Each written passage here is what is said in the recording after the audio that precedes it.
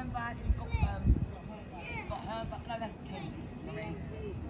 Beyonce, yeah, Beyonce.